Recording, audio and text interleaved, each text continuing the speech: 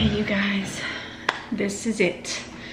I've been waiting for years, I think it's safe to say, but really more months to make this video on my channel. Uh, I could probably talk about this forever, so I wrote some notes down to try to keep me on track and not ramble. I want to give you as much info as possible because this is a story about me, my life, that has flipped my world upside down, and that is not exaggerating.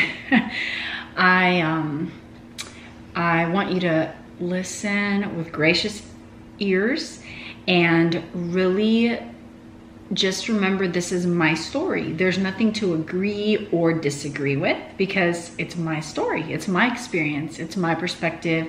It's what I have believed and come out of versus me telling you this is right or this is wrong and that would allow you to agree or disagree. This is really just something to listen to. Possibly relate to, possibly not relate to. Either way, I hope you enjoy it. So I will talk about my background very quick because I want to get to the point. Um, and I have videos. I've been making videos for a decade on YouTube. So I will refer to several videos that if you want more info on, you can go and watch. My testimony is one of the first videos I ever made. I think it's the first video I ever, ever made. It's called Christianity is the Foundation of My Life. And then I also made one called My testimony, my wedding story and testimony, something like that. So definitely check those out. And then how I met my husband, check that out as well. Um, but as far as my background goes, I came from a loving home. I was raised with the, you know, God was talked about, but we didn't like live out any particular denomination or anything. I guess Catholicism was the most influential in my life. We prayed rosaries and I did my catechism classes through the class, the Catholic Church and took my first communion, but I never like went to church or did anything with, with Catholicism. So that's my background, but I was always taught about the Lord. I always saw my grandma reading her Bible. We always prayed and I knew God was real. I believed in God, but I did not come to know Jesus as my Lord until I was about 16. And when I was 16, I was a sophomore in high school, I was driving, and so I started going to church. And I went there for six years. So during that time, I was a new believer, and that was my my entrance into the church, right? While I was at that church, I remember the pastor saying things like, you can't go wrong with John MacArthur. And I know that John MacArthur was on the radio at lunchtime every day. I think it was 1230 on the Christian radio station. So I would listen to his show. I listened to that for like over a year. And in that process of listening to John MacArthur every day on my lunch break, I came to believe that I was learning more on that radio broadcast than I was at my church. And I started to feel like there was something more out there that I was missing because my church that I was attending was not as deep in the teaching.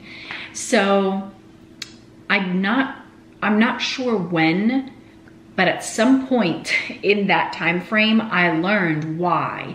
And the reason was because John MacArthur was a Calvinist, a reformed pastor, and he was teaching from a reformed perspective.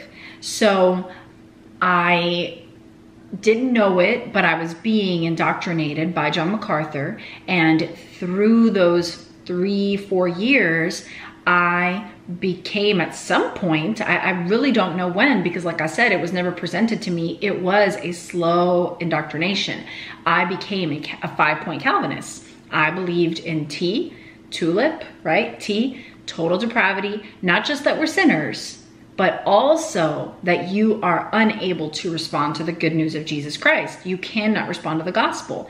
I also came to believe in unconditional election, that God chose before the foundation of the world for reasons that we don't understand who he was going to save and did not choose the rest. And I was not taught double predestination. I was taught that, that he passes over or passes by the non elect. Not necessarily that he chose to save some and damn some, but that he chose to save some and the rest were on their way to hell anyway. He just let them go where they were going to inevitably go anyway. So this is what I was taught. And then the lingo there, the phrasing there that you would always hear to make sense of that was we shouldn't be focused on why didn't he choose the rest? We should be focused on the fact that he chose any of us because none of us deserve to be chosen.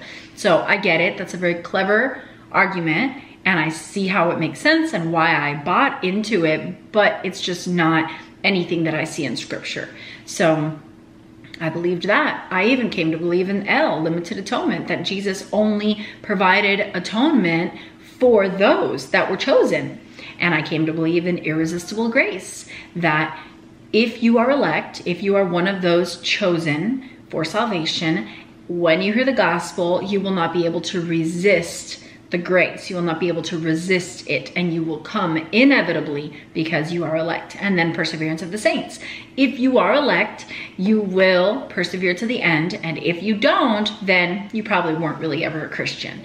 So I came to believe all these five points. And on top of that, I also came to believe in compatibilism, which is aside from the five points, the philosophical view of how God works. And the way that that has always been explained to me is God is sovereign, but God is sovereign didn't just mean God is supreme ruler above all things. It actually means He's supreme ruler above all things, and everything that comes to pass is actually His will. It has actually been preordained, pre decreed before an eternity past.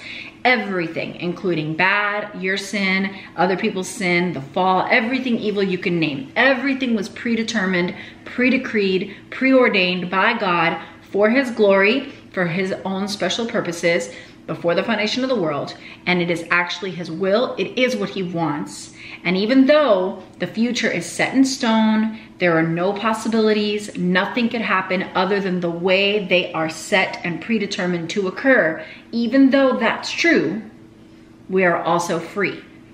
And the way that that was explained to me was you do what you want to do most. And the way that that was explained is God has God causes you to freely do what you want to do most. And now on this side of things, of course, when I hear that, I'm just like, what? but at 20, I believed it, all of it. I was a 20 year old young lady with no family and limited experience in the real world. And I thought I was getting all this amazing, rich, incredible teaching from all these brilliant people. And I believed it. I believed all of it. I really did. So that is what I believed along with some other things, but I'm gonna stick to Calvinism for this video.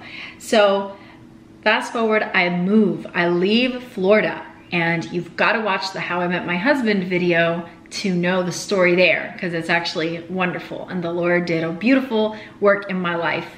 But I moved to Florida, to uh, from Florida to Tennessee, I attended a Christian university and at that point is when finally I was pretty much told, You're a Calvinist. And it was by her. She asked me these questions. I didn't know she was asking me about tulip. And the way that I answered these questions, she said at the end of them, You're a Calvinist. And I thought, Okay, so I'm a Calvinist, whatever that is. I guess in my youthful mind and in my just carefree life is good mind i didn't care to figure out what in the world that meant or what other options there were but i just said okay i knew what i believed i knew why i believed what i believed and that's it i'm a calvinist so it wasn't this really hard thing to accept for me because unbeknownst to me, I had already been indoctrinated. Where most people that I know, not all, but most people that I know come from a non-Calvinist home and then they're introduced to Calvinism later in their life and then they wrestle with it and they have such a hard time with it and then they finally come to a place where they feel like they just have to accept it because it's right there in the scriptures they've got to take it and they just accept it. And then you know that's their story my story is a little different i was already a calvinist when i got to this university and the big debate at the university is are you calvinist or arminian which Now I know those are not the only two options, but back then, that's how it was presented to me. So, of course, I was a Calvinist. It was the cool thing to be a Calvinist, just so you know. It was the cool thing because it takes boldness, it takes a little thick skin. It takes like the capacity to be like, whatever, deal with it. You know, you, you don't like the way that sounds? Oh, well, for you, I can handle the tough truth. You can't. So it took that pride and arrogance that um, I liked. I liked it in Paul Washer. I liked it in John MacArthur. I liked it in R.C. Sproul. I liked it in Voddie Baucham. Like these guys, they're great. They're brothers, and I view them as brothers but they have that in your face, bold, deal with it kind of truth. And I like that. That appeals to my flesh. I am a very passionate person. So I do think that there is a sinful aspect to that for me personally, that I, it appealed to my flesh to be like, that's right, deal with that hard truth, you know? And I never debated Calvinism. I never did. I probably had one or two heated discussions at some point in college, but it was not a theme in my life. It was not something that came up often. I was just Calvinist. I knew I was moving on. And you kind of look down at the Arminians. They were like not as smart, not as willing to deal with the hard truth. There was a pride there. That's just the only way I can explain it. There really was a pride there. And you do look down. I, I looked down at whoever wasn't reformed. So the way that that was verbalized though, it was never like, can you believe them? They're so dumb. It was always, that's not very good teaching. That's not good teaching. And then when you would hear reform teaching, you would say, this is good teaching. So the code word was this is good teaching, but really what you meant was this is reformed teaching. And the not good teaching was that's not reformed teaching. It's so funny. Now looking back, I see all of this, okay? I also remember this, like really, really distinctively, I remember I went to a college group and the college leader it was at a church, a local church. The college leader was reformed, so were all the college students. That's why we went there. But the church was not. And the pastor was super old and he was going to retire soon. And this college leader was going to be the new pastor. And so we all knew what the plan was. He was going to eventually reform the church. And he said, give me five years. And we all knew it. We all knew what he meant. He didn't have to say, give me five years and then I'm going to slowly indoctrinate the church and make it a reformed church. But that's what we knew he meant. We knew it. But in our minds, it was a good thing because to us, Reformed theology was right and true and it was scripture. So we were all for it. I didn't stop to think, man, that's wrong. that's kind of wrong. You know, if they want Reformed teaching, they'll look for a Reformed pastor. If they don't know that you're a Reformed pastor, I hope you're going to be upfront with them about it so that they can decide whether they want that or not. Now I see it that way that back then I was like, that's right, get in there, get in there and, you know, change things up, make it reformed. Mm-mm, I don't, I don't think that's right at this point. I think every human being on the planet deserves to know what the person that they are submitting under being taught by believes so that they know that they are in a safe place, right? Being taught things that they agree with. And as a young girl, when I was listening to John MacArthur every day, I didn't even think of this. But I do wish that I had known and I wish that I had gone and double checked things in the scripture. Maybe I wouldn't have noticed, but at least I own this. I didn't go and double check things and I should have because maybe I wouldn't have agreed with what he was saying and comparing it to what was in the scriptures. I don't know.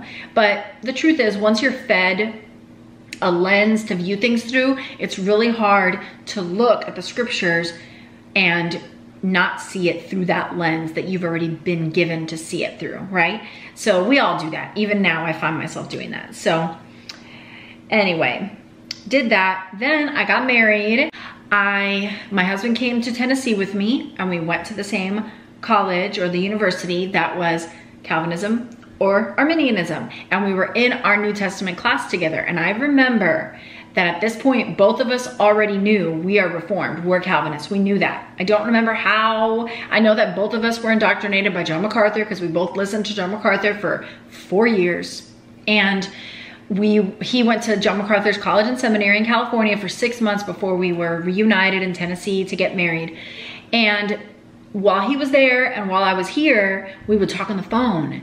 And I was like, I'm learning this, I'm learning that. And he was learning the same stuff. So both of us were being reformed. and it was great. It was great. I, I, I viewed it as a wonderful thing.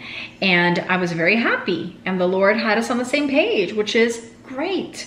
Then we got married, he moved here, we went to class. And I remember in this class, it was New Testament survey and the professor was not reformed.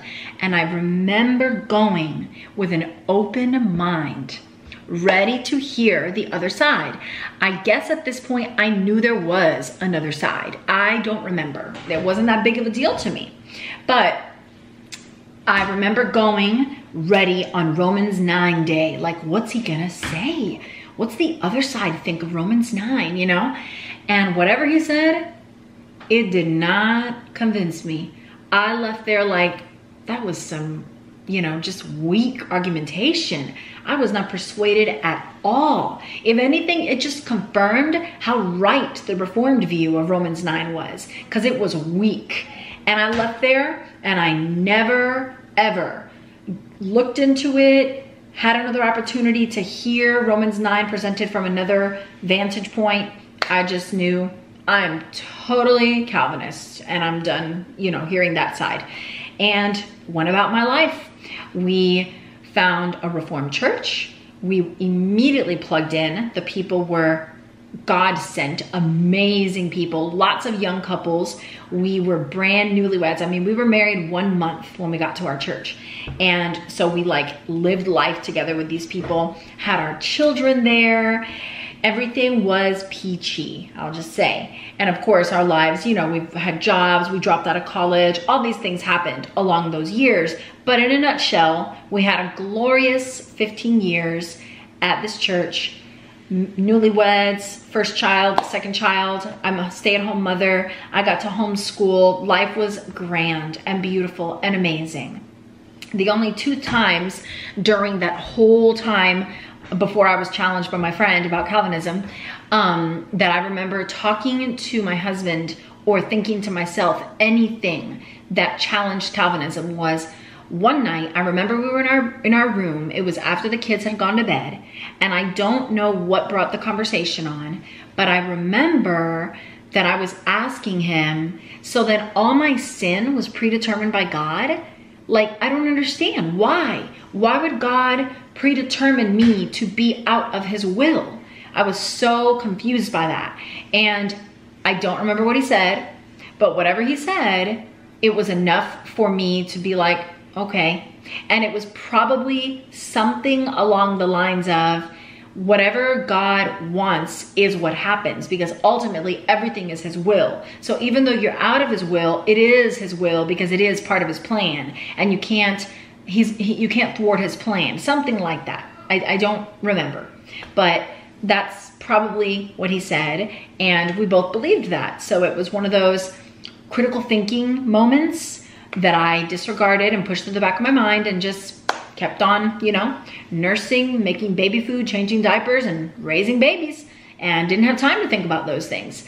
Then, a few years later, I remember reading the gospel to my children. We started with little children Bibles, which I love. We did big picture storybook Bible and the Jesus storybook Bible love them both. But then we graduated to the actual Bible and I would read the Gospels and Proverbs and Acts and the Old Testament. And we were reading in the Gospel one day and I remember reading Jesus' words and I remember thinking in my own head, I didn't say this out loud to anyone, I thought, this sounds like everyone has the opportunity to come to Jesus. that was my thought. And then right after that, I thought, when am I going to teach my kids about election? And I thought, how strange. And then I just pushed it to the back of my mind and kept changing diapers and kept making baby food and kept raising babies, you know, moving on with life. Too busy to stop and think about that. So that happened. Then I also this this is for sure one way that I was I was trying to think like how have I seen these this mindset play out in my life because for the most part I am a very very intentional person. So every day I live with great purpose and I teach my children and I devote my life to making sure that they um, have the word in their life every day, that we pray every day, that they are loved and cherished, and that they know we're on their side, and all these things that I do with great intention for my husband and for my children out of love because I feel like it actually counts and makes a difference for their futures, right? In shaping who they are. So that is not very consistent with determinism. And I know that I will get backlash for calling it determinism. So I just want to explain something. Compatibilism. Compatibilism is the sovereignty of God and God is sovereign and man is free, right? Have you ever heard that? God is sovereign and man is responsible. God is sovereign and man is blameworthy. So the reason there's tension there is because they contradict. That's why there's tension. So what you're calling compatible, these things are compatible, they're actually not. That's why it's called compatibilism because it's claiming that even though these two things contradict completely, we're going to say that they are compatible. Somehow, some way, they are compatible. So there's a, an appeal to mystery, which I did this. I said this. So I believed this. I said, God has, I believed and I would say God has decreed all things, yet somehow still man's free man is still blameworthy for his sin and all the things he's done wrong, even though they couldn't have done otherwise, even though there's no possibilities, everything is set in stone, everything's been predetermined and pre-decreed, somehow man is still responsible. I would appeal to mystery. I believed this, I accepted this, okay? So I'm saying that just to say what compatibilism is and that I understand it and that I accepted it. And one of the ways it played out in my life was when we got our vasectomy which I have a video about our vasectomy story. I highly encourage you to watch it. So when we were thinking about getting our vasectomy, we did not listen to the other side at all, which I regret immensely, but you'll hear all that part. I'm just gonna give you the bullet points and you can hear the deeper story if you choose to watch the video. But the reasons we gave each other and ourselves for having our vasectomy with a you know clear conscience was we're free in Christ. You can't thwart God's plan. If we do this, then obviously it was part of God's plan.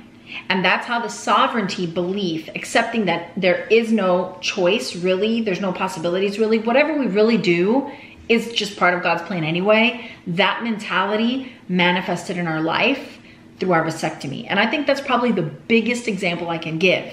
Most other areas of our life, we don't live like we believe that. We live like our life is actually making a difference our life is actually important and we can create good things and bad things with our decisions, you know? So that's one example that I just wanted to share. So fast forward, that was my life. It stayed that way for a long time. Fast forward three-ish years ago. It was Thanksgiving weekend. So this is funny.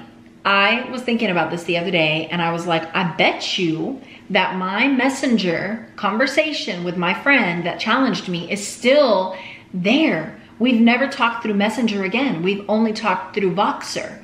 So I went to my messenger and I looked her up and sure enough, the last message we exchanged on Messenger was her initial message to me right after I posted a John Piper sermon on Facebook and I invited dialogue. She messaged me I sent her two voice clips and then we switched over to Voxer and we talked on Voxer for like days, okay? So I actually went to Voxer, I looked up our thread and I, I, I scanned or I scrolled all the way back to November 2019 and I listened to our conversation and it was like, it felt like the Twilight Zone for me because I heard myself saying all of my Calvinistic beliefs. And that feels so long ago. It was crazy. So my so my favorite part about my conversation with my friend was how peaceful it was. It was so real and objective. You know, it wasn't emotional and argumentative. It was, let's look at this thing together and examine it together and challenge what each other sees in this thing. And we're seeking for truth. We're not seeking to be right, we're seeking for truth. So I posted this John Piper sermon, the seashells sermon, which I love to this day. It is so amazing. And she messaged me. Pretty much in the message, she, her approach was, I've been studying Calvinism and Arminianism and I've been, da, da, da, it was pretty long. And she was like, the, I wanted to ask you about the sermon that you posted because you invited discussion. And so I wanted to ask you about how you feel about his beliefs because he believes in reprobation. He believes that some are elect for salvation and some are elect for damnation. And so if he believes that, then why would he be talking about this couple that wasted their retirement collecting seashells when they couldn't have done otherwise? Like that has been decreed before the foundation of the world that that is what they would do. So why would he look down on that or talk bad about it? They're obviously reprobates elected for hell with that being their set in stone life. And then the ladies that he's praising for dying on the mission field, well, they were elect for salvation. And that was their road in life before the foundation of the world. So why is he praising them? You know, like you can't really say anything bad about somebody who's just doing what they were predetermined to do. So this was her question to me. And I listened to some of my messages in response to her. And you know, it was like, hey girl, how are you? You know, uh, I haven't heard from you in so long. It's great to talk. Yes, I definitely want to talk about this. And in my first message to her, I said, I'm Calvinist to the bone. That's what I told her. Ah, it was so hard to hear that, but that's what I told her. And I said, for sure we can talk about this whenever you want, but let's talk on Voxer. So that was the end of the Messenger discussion. And so I went to my Voxer. Since I had the date from Messenger, I knew that it was around November 20, 20th, 2019. So I went to Voxer and I scrolled, scrolled, scrolled, scrolled forever. And I have Voxer Pro, so I can scroll for super long past messages. And I found November 22nd, 2019 and then before that was like February 2016. So I knew this is it, this is the conversation. So she messaged me first and it was like 15 minutes long. And then she messaged me again. And then I was dialoguing with her and it was again a beautiful situation there was like no emotion just real conversation like oh you have some great questions i don't know and i was saying things like i believe this and i believe that and i believe this and then i was you know, saying the scriptures that I was always referring to Romans 1 for total depravity, Romans 3 for total depravity, um, Romans 9, vessels of wrath, um, Joseph and the brothers, and God meant it for you, what you meant for evil, God meant for good, and the axe in God's hand, and Amos, and all these passages, Acts uh, 1348, I think it is, Ephesians 1, of course, and I'm saying all these passages to her and she's coming back with questions about those passages. And then I start sending her pictures of my systematic theology book. and then I start sending her YouTube videos of snippets of John Piper saying something, or Voddie Baucham saying something, or John MacArthur saying something. And then her taking the time to watch those things, oh my goodness, and then answering back and challenging me with this or that. And during all this dialogue, I remember thinking, I totally agree with everything that John Piper just said in this video. How can she not agree? Like I remember thinking these things. And when she would respond to me, I remember thinking like, no, she just doesn't get it. You know, she just doesn't get it. So then I'd send her something else and she'd respond. I'm like, no, she just doesn't get it.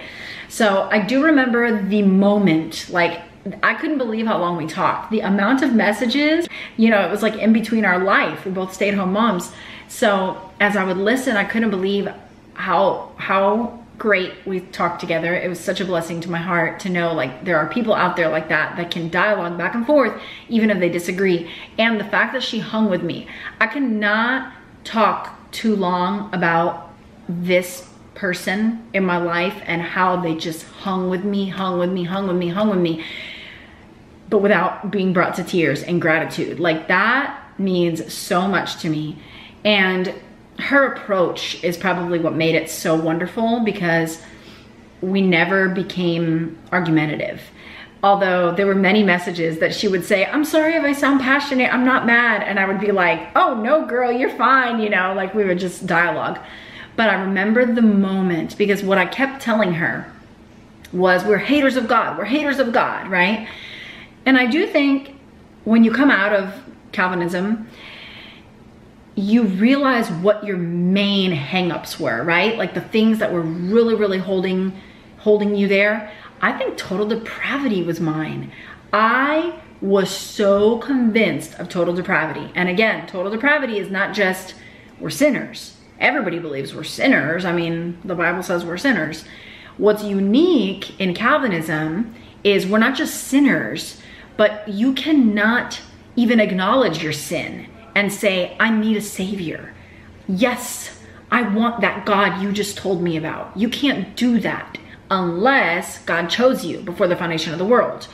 If you're not elect, you are incapable of realizing your need for a savior. You are incapable of saying, I hear that good news and I believe it and I want it.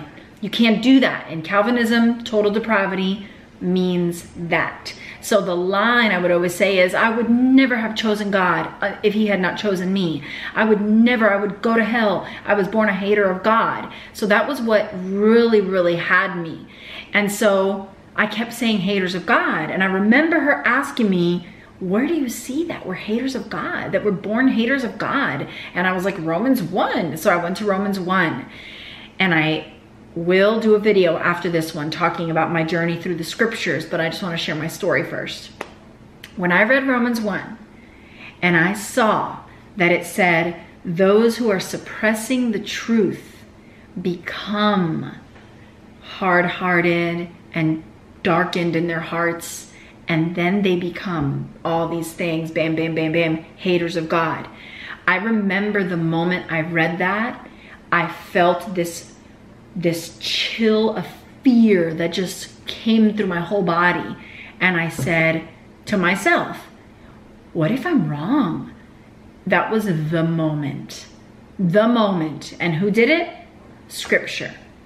So I found that message and I was able to hear myself. It was crazy. I was able to hear myself say, well, I always thought this said we're born haters of God, but in reading it, I see that it's talking about you become these things if you suppress the truth. Like these are the unrighteous people. And it was literally like a 35 second message. That's all I said. You know, I was like freaking out in my room. like, what is happening here? So that was like the beginning of everything, that moment. And then she hung with me. Like I just kept going through my journey. I started going through the scriptures and all of that. So it became a roller coaster of emotions, of course. When I realized, okay, I am not a Calvinist. After my journey through scripture, I went to Calvinistic systematic theology books. I did not go to the internet. I did not go to blogs. I did not go to videos. I did not go to people. I did not go to articles.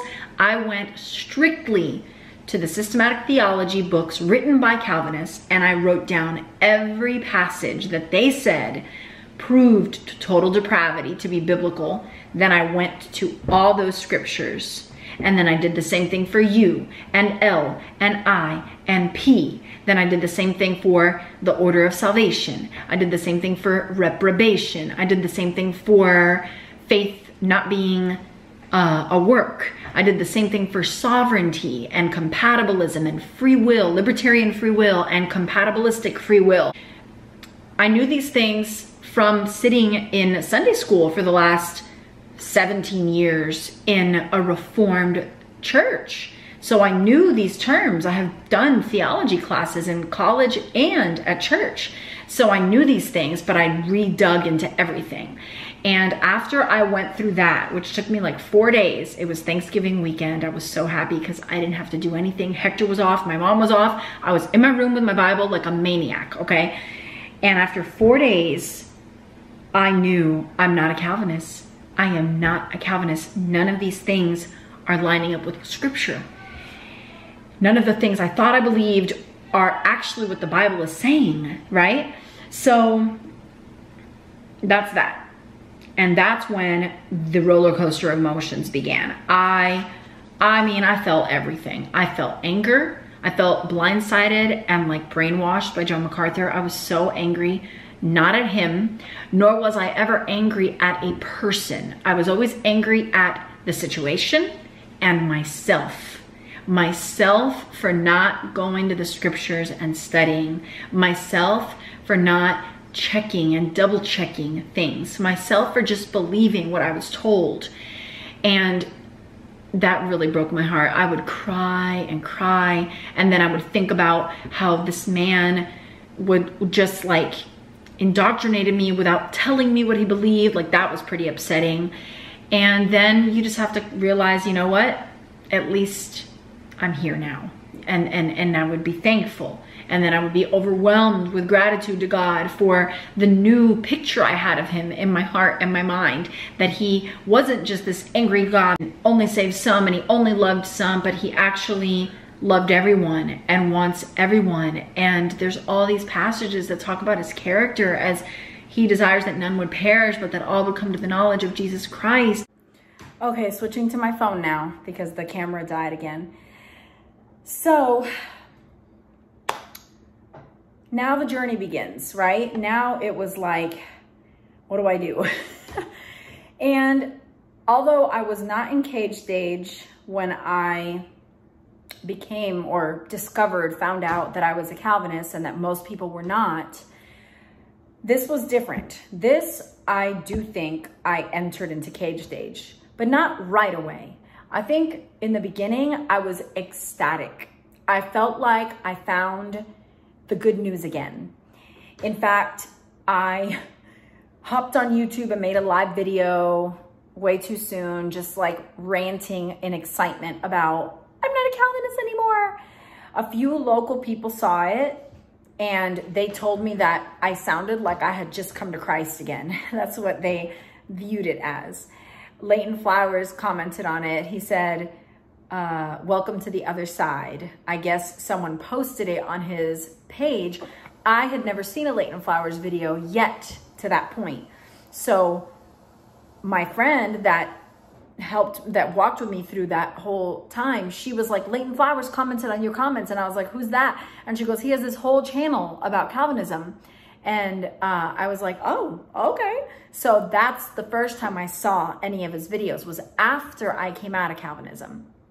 And even then, my husband advised me and he was right. And I was very cautious to not just go and do the same thing on the other side and like just take in all this information from the other view or other views instead of just scripture.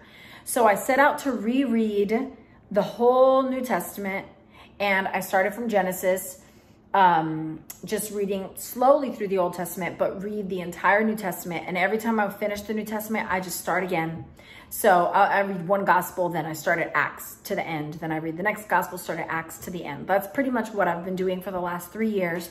And I'm like in Deuteronomy right now, slowly going through the Old Testament. So it's been quite a journey. I am significantly more familiar with the New Testament than I was before. And I still feel like every time I read through it, there's more, you know, that I missed or that I forgot. It's like a never ending treasure is the word of God, right? Um, so I waited about six months, six to seven months before I spoke to any friends about it. Um, I didn't know what to do. I felt nervous and scared, but also super excited. And and when I say any friends, I did tell my best friend. She just started laughing. I was like, we don't have to talk about this if you don't want to. I just have to tell somebody I'm not a Calvinist anymore. And she just started laughing. She was like, what is a Calvinist? And I was like, girl, you go to a Calvinist church for 10 years. What are you talking about? So that was hilarious. And so, you know, for the longest time, she thought I was just like making a big deal out of just semantics. And it wasn't until she took her deep dive study about a year ago that she realized, oh no, this is not just semantics. This is like a ginormous deal. And she realizes now why it was such a big deal to me. But it took her like a year and a half before telling me like, okay, now I see why you were so like passionate about this, right? So that video I made on my channel live and immediately I took it down right away. My husband was like, babe, what are you doing? You know, no, we, we just figured out we're not Calvinists. We're in a Calvinist church. We're not just going to start putting stuff online. I was like, you're right. You're right. I'm just so excited. So we took it down. Didn't speak to anybody like besides my best friend and maybe like two, two other close, close people. And then about six to seven months later, I brought it up to somebody else. And then I brought it up to somebody else and I brought it up to somebody else. And little by little, I talked to about 10 people over the course of a year. And I have to say, one of the biggest, first of all, I made a lot of mistakes. I'm just gonna say that on the front end. So I'm sure this has a lot to do with it. I made a lot of mistakes on my approach. I was very emotional. Sometimes I was angry with some people, not them, but my presentation or my approach was anger. With some people, I was overwhelming. With some people, I was um, just whatever, you know, just not not the approach that would invite conversation, you know? And so I made a lot of mistakes. I also had some good conversations too. I was very surprised to see how this was not something that was going to be easy to discuss with people. I, I that's probably the biggest thing I was surprised about in the beginning.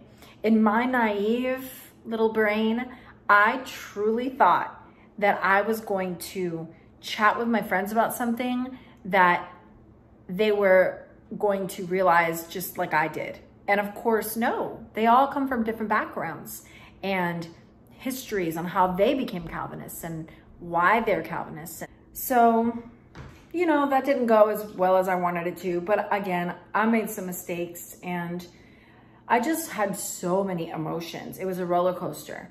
Um, and I didn't realize like, or I didn't stop to think, obviously seven months of me going through this, walking through every topic to just like unload on one person all at once. How can it go any different, you know? so it's interesting. Like some people were like, we can't ever talk about this again. Never bring it up again. Okay. Some people were like, we're going to talk about this again. And they never brought it up again. I'm like, okay. Some people called me unteachable, which is probably the funniest one of all because obviously I'm very teachable since I just turned around and changed my mind about something that I believed in for 17 years because scripture told me otherwise. I think that's pretty teachable. I mean, I would say that's very teachable. So that's funny. Some people were like, maybe you never really were a Calvinist, which that's hilarious too, because obviously I, was. Um, some people called me Pelagian, semi-Pelagian. Some people said it was, you know, heresy or unorthodox or um, just all these things. It's just so interesting. Instead of discussing the topic at hand, it's like labels. It's like, stop calling me stuff and let's talk about this, you know? But, you know, people, we're all fearful. We're all fearful. And when we have, when we hold to an ideology as, or something that's like our identity to question that is scary. It is scary, especially when you have a lot uh, invested into it, you know? It is scary to invest in something for so long and then say, oh, I'm wrong. Turn around and start from scratch. My mentality, however, is if it's if we're talking about truth, then who cares what you lose? Who cares? I don't, you know? But that is also coming from someone who was just a stay-at-home wife and my children were young and I hadn't, you know, done anything huge regarding Calvinism. So it was easy to walk away from it and say, oh, I was wrong for 17 years. For someone else that's got a lot more invested in it, I can see how it could be extremely scary, extremely humbling, to the point where you don't want to go there. So I, I get it. You know, there's grace there. Even with all the different reactions I've gotten from people, there's grace. There is grace. I have not felt any bitterness, resentment, frustration, anger towards any person at any point in this. So I'm very thankful for that. It's been a very objective experience for me. It's the topic that I have had issues with. I try to wait, like after I had those interactions with people that I know and love, I took a break. I realized, man, this is not how it, I thought it was going to be. so I had done some damage. I had hurt feelings. I had offended some. I had posted stupid things on Facebook, not a lot, but enough to like get people's attention, like what's happening with Alana, you know, I'm sure. Not that anyone ever said anything to me about it. I'm just assuming that. That's another thing that's been hard is like, there's only been like one or two people that have approached me about anything. Nobody else has. And that's fine. There's fear, I know. And there's grace there and understanding. But, um, you know, I posted some, I remember a video about John MacArthur talking about how God doesn't love everybody. And I remember watching the video, video by him and being so disgusted. It's like, this is horrifying. I want people to see this so they could see how wrong this doctrine is. Nobody on my Facebook even knows what's happening. So for me to post that out of nowhere made no sense. And I see that now. And I also have learned that not all social media platforms are the same. YouTube's different. I have a family here on YouTube. You guys know me. You get me. You've been following me for 11 years. You understand me. You you take my heart as genuine. You don't think I'm just putting on a, a facade. Like you get me. And so I can talk and not necessarily have to explain everything to you every single time. But Facebook, I'm barely on there. And it's used differently than YouTube is used. And so I've learned the hard way, not with a bunch of mistakes, but maybe two or three mistakes on Facebook and it's okay. You know, I know that there's grace on me and all I can do is say, Lord, forgive me and move on, you know, and learn from that and not do it again. So that's been hard. And then to recover from that, I really do think the Lord has just laid all the timing out perfectly so that there was time for me to recover from that there was time for me to apologize to people that I love and that even though I didn't intend to hurt or offend, I was able to apologize to them. And I got nothing but forgiveness and love in return. I got, um, you know, even most of them, with the exception of like one person, everybody said, oh, there's nothing to apologize about. I didn't get upset. Like you, I know you. We were just talking. It's okay, but thank you that was the most, the majority of the people responded in that way.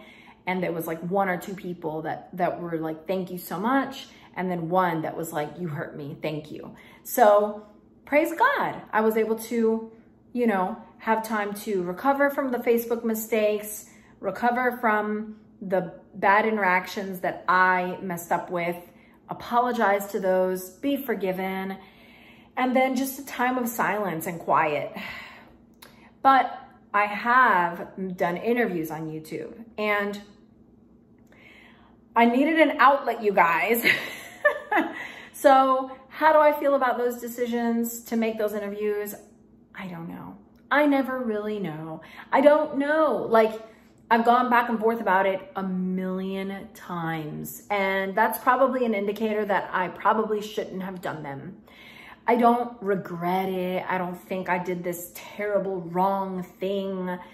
I just think the timing may have been off, but I really, really wanted an outlet and it wasn't on my channel. So I thought maybe people won't see it, but I think people did, you know, and who knows who did because again, no one comes to me to say, hey, I watched that. Let's talk about it. I have some questions. So who knows who has seen it? I don't know. And I may never know. And that's okay, you know? Um, so how do I feel about them? I think that the Susan Morales interview was well done. I really like it. I, however, have wondered who ha what have people felt when they've watched it, you know, and worried about that because I love my people. And I've also did the interview with Idol Killer, which I feel insecure about that one. I feel like I didn't do as good of a job in that interview, but still, the Lord can use it and He has. But still, I wonder who has seen that and what did they think and how did they feel? And so, because of that second guessing, I just wonder if it was the best decision or not. But I've learned from it and there's grace, you know? I even had him take it down for a little while because I was in a panic. I was like, can you please take this down? Just like until I tell you because I was in a panic and he was so gracious to take it down. And then like three weeks later, I was like, put it back up. Like, it's okay. I am just panicking, you know? Um, but I'm grateful for his graciousness to me to have honored that um, in my up and down emotional roller coaster, you know? Um, so it's been, you know, hard for many reasons. And then also just the constant turmoil on the inside. Like, am I making too big of a deal of this? Is this as big of a deal as I think it is? And all those questions. And Lord, am I, am I, you know, what do you want me to do with this, Lord? And um, how do I, how do I go about moving forward with all of this? It's hard, it's hard. And I think having my dear friends that have walked through this with me as sounding board has been very good. And then also just constantly going to the Lord about it has been very good. Um, I've made videos and taken them down because in the moment I feel like they're a great idea. And then afterwards I'm like, this was a bad idea. I do think that a lot of it had to do with the fact that I was still attending a Reformed church. So it makes sense that maybe I shouldn't be posting stuff that goes against the teaching of the church that I go to, right? But as of a month ago, we are no longer at our church. And, you know, it was years of coming to that decision. It was a slow, long, prayerful, thought out, tons of discussions between me and Hector, lots of prayer, effort to stay and just focus on worship and fellowship, effort to just focus on the incredible people and how much we love them and to cover everything with love and grace. And it just wasn't working. It was never about the people. It's just about the doctrine. And, you know, when your heart is not somewhere anymore because of your differences, then of course it's the right thing to do to move on. But man, it came at a big cost. You know, my husband loves music and being in the music ministry, and he's done that for 16 years there. And it was a hard thing to let that go. And I have become a wife, a mother of two, a homeschool mom. I have learned everything that I know about marriage and motherhood because of my community at this church and I have left. So it is a is it a it is at a high cost that we left, but it was the right thing to do. And it was not it was not easy for the longest time, but there came a point where it was crystal clear, like we have to go and we're going to be okay. The Lord is with us. We are his children. He is with us. He's going to guide us. He's going to take care of us. And so that peace that wasn't there forever is there now. And that's when we knew, okay, we're ready. It's time. Up until that point, the fear was crippling at the thought of leaving.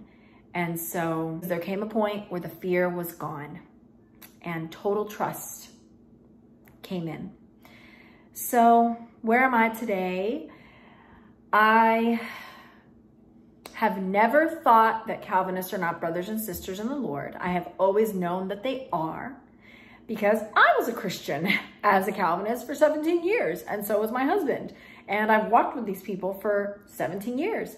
I have not encountered personally the stereotypical proud, arrogant, rude Calvinists. All the Calvinists I know are wonderful. They're loving and gracious. They have been dear friends and just wise counselors.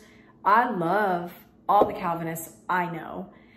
Um, I believe they're brothers and sisters in the Lord. Completely believe that because I know I loved Jesus. My life was devoted to Jesus when I was a Calvinist. But I also think I was mistaken in the way I was interpreting scripture about who God is and the work of Jesus. And I do believe that anyone that believes Jesus did not die for the whole world is failing to take many, many passages at their plain reading. And I do think that there is a lot of philosophy in Calvinism. There was a lot of logical, clever arguments that are not biblical. And I believed them all. I bought them all. But now I see where I went wrong. I think that there is a lot of historical data that is very important to know about who Augustine was, who Calvin was, how Calvinism the theology came to enter the church and where its origins are from. That's really important. I didn't know that. Uh, even in my Christian uh, courses from college, books that I had, the information was there. It says plainly, Augustine is known as having been the first person to bring in Platonic Greek philosophy into and mix it up with theology and bring it into the church. So this whole concept of determinism and compatibilism mixed up with theology in the church is from Greek philosophy. And knowing that should make us stop for a second and be like, what, what, wait a minute, what? Like it's from Plato and from Augustine and he was a Gnostic for 10 years before he became a Christian. And so he brought in all this stuff. It's good to know that. It's important to know that. That's from the world of philosophy and we've brought that into the church. And our church fathers are not church history guys. They are Paul and Peter and James and John. Those are the church. Those are the people that we need to be looking at and just to see like how much Jesus says and how much Paul says that totally do not fall in line with Calvinism or determinism. And they imply free will constantly. When you read Genesis and my goodness, Exodus and Leviticus and all the clear cut choices and options that God gives with consequences and reward on either end, those all imply choice. I mean, even just Cain and Abel, when God tells Cain, if you do this, you know, this is going to happen. But if you do this, this is going to happen. You must master the sin that's crouching at your door. We must take God seriously, like he's telling him that, because he means that Cain can actually do something about it. And so just these conversations that God has and the way that God presents himself in scripture, revisiting that. It's very eye-opening. means what he says and he says what he means and he's not a trickster and he's not confusing.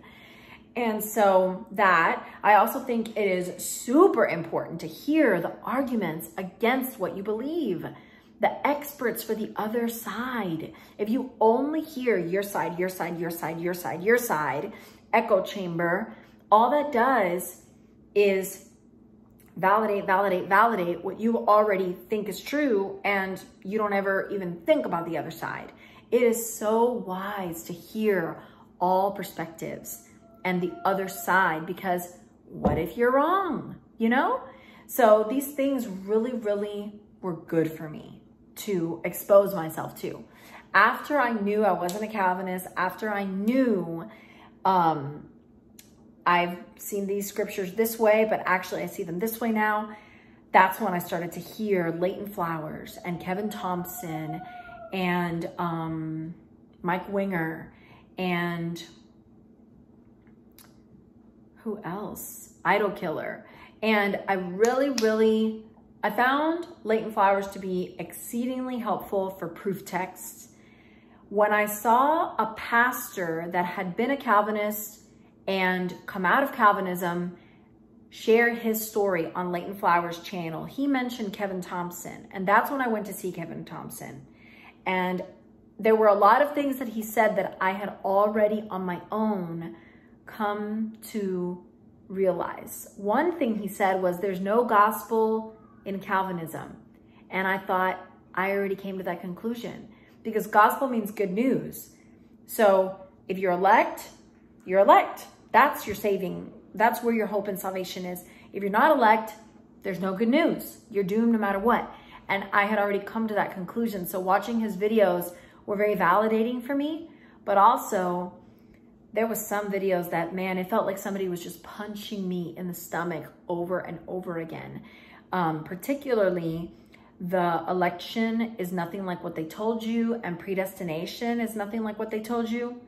Those videos helped me realize that I would read the scriptures and whenever I saw the word chosen or the word elect or the word predestined, I didn't say predestined for what and then read it in the text or chosen for what and then read it in the text. But instead, I was bringing with me chosen for salvation. Even though it didn't say that, I was injecting it and that's how I was seeing the text and I realized how much injecting of doctrine I had been doing as I was reading the scriptures. So even if I was reading the Bible, since I was reading it through this lens and with all these doctrines that I was bringing with me, injecting, injecting, I was failing to see the plain reading because I wasn't reading it plainly. I was bringing stuff. So it was really, really interesting to watch some of his videos. And, you know, I'm continuing on my journey. I love where I am today. I feel peace. I feel trust. I feel faithful that God's with us. He's holding us. I'm so thankful that my kids are hearing and seeing us be humble, that we believed something, we realized we were wrong according to scripture, and we're, you know, embarking on following where the Lord is guiding us. I'm thankful that my children are going to be raised with the message that Jesus loves everybody and there's hope for anybody and everyone to come to Christ. And I'm thankful that um, we are on the same page. That's a very big deal. So there's a lot of good that's come out of this. There has been some hard things, but I think that in the grand scheme, this is this is a huge a huge thing. And so it's worth as, as sad as it is, it's worth the things we've lost. So yeah, that's where I am today. I am planning on making a part two, taking you through the journey, through the scriptures that I went through, as much as I can remember. And um, giving you an idea of where I was before, how I saw certain texts before, and how I see them now. And so that's my plan for the next video. I know this was long. Thank you so much for watching and hearing my story. I encourage you to go check out the videos I mentioned. I'll do my best to put the links for those in the description box so you can just go check them out when you have time. And thanks for listening to my story. I hope that you see my heart in it. I strive to be gracious and vulnerable and real and honest with you and with myself. And I know that there's so much I don't know, but I am okay with that because I trust the Lord will show me. And I'm just thankful for where he has me right now. Thank you guys. See you next time.